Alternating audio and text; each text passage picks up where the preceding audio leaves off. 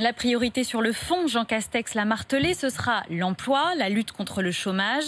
Il y aura une prime à l'embauche de 4 000 euros par an pour les jeunes, plus de formation, des mesures de soutien aux plus défavorisés, repas à 1 euro dans les restaurants universitaires pour les boursiers, revalorisation exceptionnelle de l'allocation de rentrée scolaire à 100 euros. À Toulouse, le reportage RMC de Jean-Wilfried Farquès. Mère célibataire, Farida, 37 ans, estime que 100 euros, ce n'est pas rien. Ça m'intéresse. Pour acheter les, affaires, pour acheter des, cahiers, des trucs pour le petit, euh, les t-shirts. Selon cette femme de ménage qui a du mal à joindre les deux bouts, dans le contexte actuel, cette aide est même vitale. La crise, elle est difficile et je lève mon enfant tout seul. Je suis une femme avec un petit garçon de l'âge de 7 ans et c'est pas facile pour moi. Si j'ai pas cette aide, c'est difficile pour moi. Même 100 euros, ça compte. C'est très bien.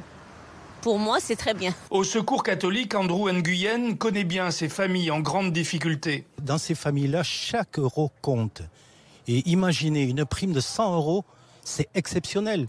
Imaginez les yeux qui vont briller quand ils vont recevoir cette somme pour pouvoir aider leurs enfants pour cette scolarité, cette rentrée scolaire qui arrive, qui s'avère, qui, très compliqué.